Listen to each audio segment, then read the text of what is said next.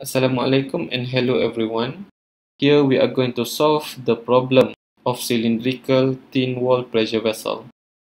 The question is, a cylindrical storage tank contains liquefied propane under a pressure of 1.5 megapascal at a temperature of 38 degrees C. Knowing that the tank has an outer diameter of 320 millimeters and a wall thickness of 3 millimeters. Determine the maximum normal stress and the maximum shearing stress in the tank. First, we list down all the information given. Here we have P equals to 1.5 megapascals.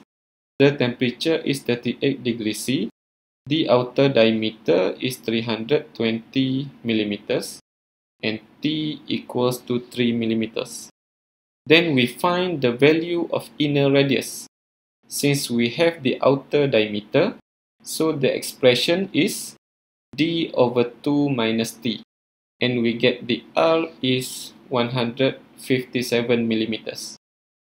Here the maximum normal stress equals to the hoop stress because the hoop stress is twice greater than the longitudinal stress.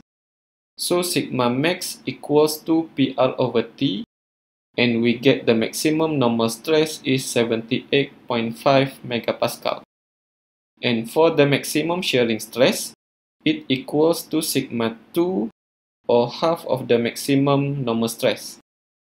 So maximum shear stress will be 39.25 megapascal. That's all for this session. Thank you.